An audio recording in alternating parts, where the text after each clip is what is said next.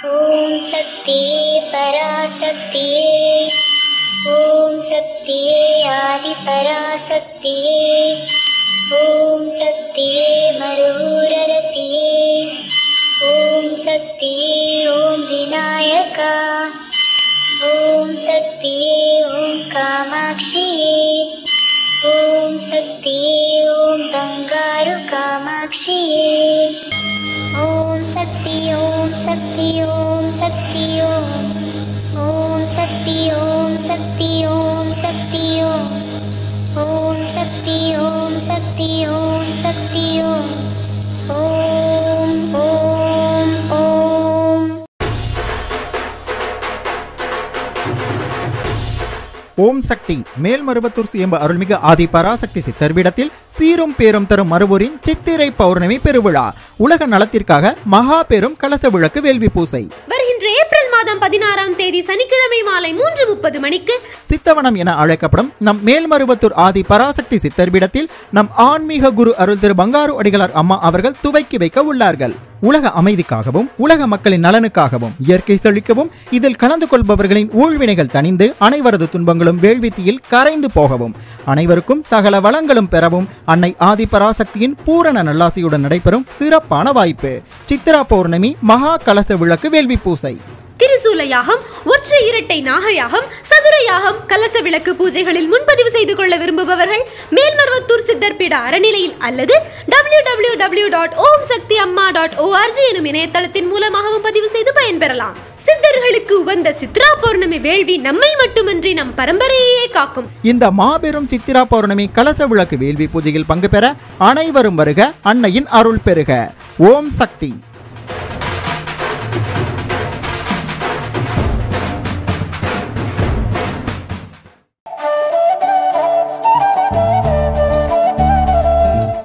ஓம் சக்தி. இந்த இனிய நாளில் நீங்கள் எடுக்கும் அனைத்து முயற்சிகளிலும் செய்யும் அனைத்து செயல்களிலும் வெற்றி பெற்றிட அன்னையின் ஆசி உங்களுக்கு கிடைத்திடட்டும். வாழ்க வளமுடன். இனிய காலை வணக்கம் சக்திகளே.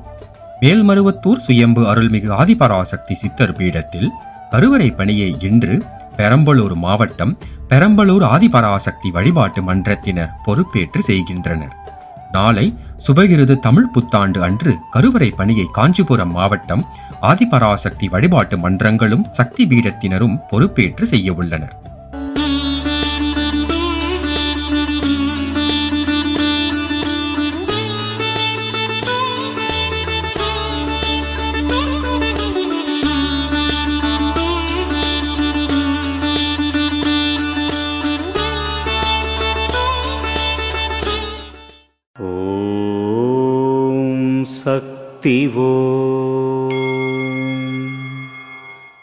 அன்னையின் அருள் வாக்கு அடுப்பின் மேலே உள்ள பானை கீழே எரியும் தீயின் வெப்பத்தை ஏற்று தண்ணீரை கொதிக்கச் செய்து அரிசியை எப்படி பக்குவமாக சமைக்கிறதோ அதுபோல உங்கள் மனமும் பக்குவப்படவே இந்த வேள்வி. ஓம் சக்தி. ஓம் சக்தி. குருவடி சரணம் திருவடி சரணம். நாளை ஏப்ரல் பதினான்காம் தேதி தமிழ் நாள்காட்டியின் முதல் மாதமான சித்திரை துவங்குகிறது. இது உலகமெங்கிலும் தமிழர்கள் வாழும் அனைத்து பகுதிகளிலும் தமிழ் புத்தாண்டு என வெகு விமர்சையாக கொண்டாடப்படுகிறது. வானியலிலும் வாழ்வியலிலும் சிறந்து விளங்கிய பண்டைய தமிழர்கள் கால கணிப்பு முறையில் இரவு பகல் குளிர்காலம் மழைக்காலம் கோடைக்காலம் என்பது போல தமிழ் ஆண்டுகளான அறுபது ஆண்டுகளை சுழற்சி முறையில் வட்டமாக அமைத்துள்ளார்கள். தமிழ் ஆண்டுகள் அறுபதும் தனித்தனி பெயர்களை கொண்டது. முதல் ஆண்டான பிரபவ அதாவது நற்றோன்றல் ஆண்டில் தொடங்கி அறுபதாம் ஆண்டான அச்சய அதாவது வளங்கலன் ஆண்டில் ஒரு சுற்று நிறைவடைந்ததும் மீண்டும் மற்றொரு பிரபவ அதாவது நற்றோன்றல் ஆண்டில் அடுத்த வட்டம் ஆரம்பமாகிறது. சிறப்புகள் மிக்க குரு நாளான நாளை வியாழனன்று தமிழ் ஆண்டின் முப்பத்து ஆறாவது ஆண்டான சுபகிருது அதாவது நற்செய்கை ஆண்டை வரவேற்று கொண்டாட இருக்கிறோம்.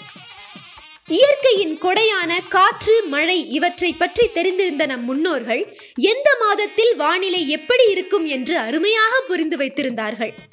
பண்டைய தமிழர்கள் பயிர்த்தொழில் பழகிய போது வானை பார்த்து சூரியன் சந்திரன் பிற கோள்கள் இவை அமைந்திருக்கும் இடத்தை பார்த்து ஓரளவு வானிலையை கணித்தனர். தமிழ் இலக்கிய மரபில் இளவேனில் முதுவேனில் கார்காலம் கூதிர்காலம் முன்பனி பின்பனி என தட்பவெப்பத்தை குறிப்பதாகவே மாதங்களை வகைப்படுத்துவர். கார்த்திகைக்கு பின் மழையும் இல்லை கர்ணனுக்கு பின் கொடையும் இல்லை என்னும் பழமொழி அம்மாதத்தில் மழை பொழிவு குறைந்து அடுத்து குளிர்ச்சியான சூழல் நிலவும் என்பதை குறிக்கிறது. ஐப்பசி மாதம் அடைமழை கார்த்திகையில் கனமழை மார்கழி மழை மண்ணுக்கு உதவாது என்றும் படிப்பறிவு இல்லாவிடினும் பட்டறிவால் உணர்ந்து கூறியுள்ளனர். பனி அதிகம் இருந்தால் மழை இருக்காது. தைப்பனி தரையை துளைக்கும் மாசிப்பனி மச்சை துளைக்கும் என்றும் பனிக்காலத்தை பற்றிய பழமொழிகள் உண்டு. ஆடி மாதத்தில் வீசும் காற்றை ஆடிக்காற்று என்பர். ஆடிக்காற்றில் அம்மியும் அதாவது அம்மையும் பறக்கும் என்பது பழமொழி. அவ்வாறு ஆடி மாதத்தில் காற்று வேகமாக வீசினால் அடுத்து வரக்கூடிய ஐப்பசி மாதத்தில் கனமழை இருக்கும் என்பதை அந்த காற்றின் தன்மையை பொறுத்தே கணித்து வைத்துள்ளார்கள். ஆடியில காத்தடிச்சா ஐப்பசியில் மழை வரும் என்பது அந்த பழமொழி.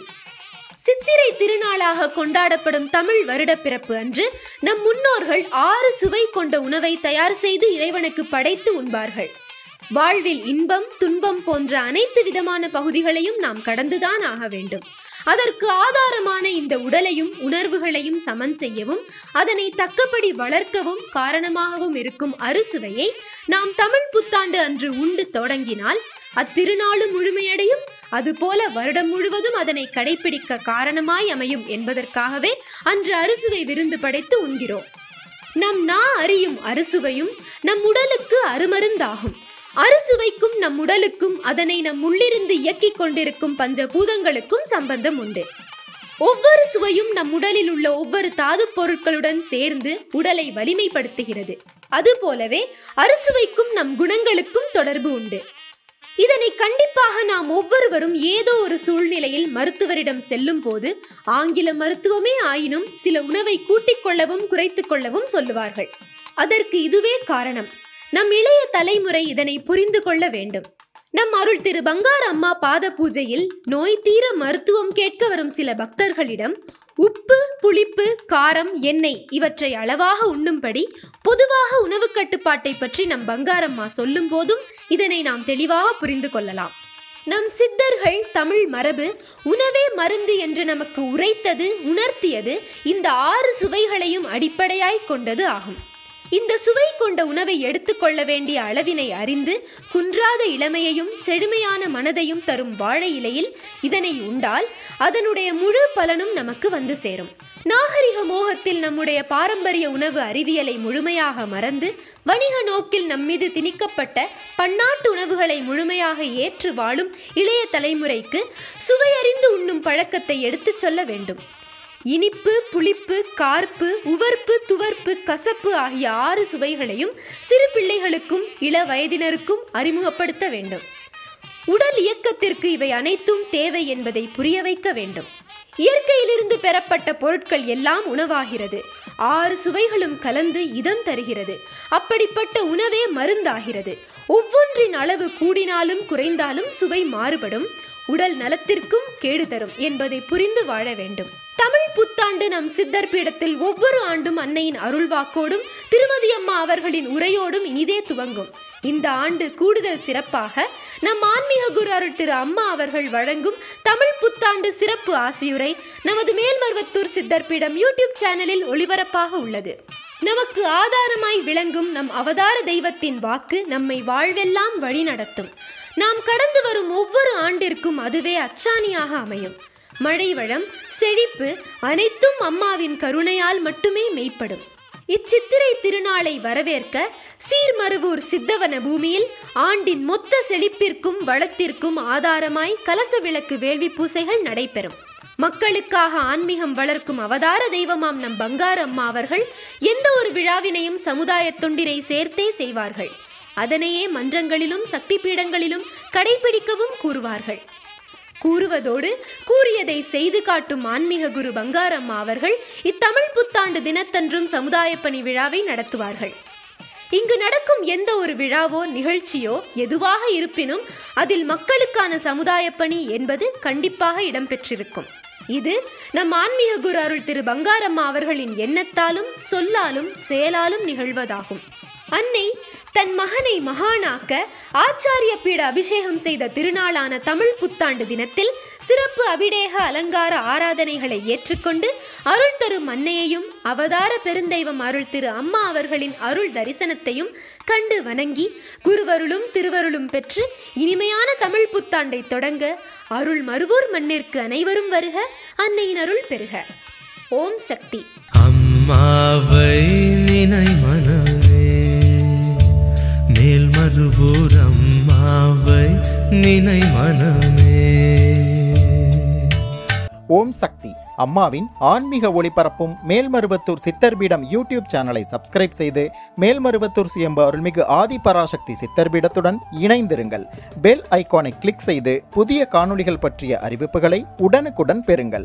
ஓம் சக்தி.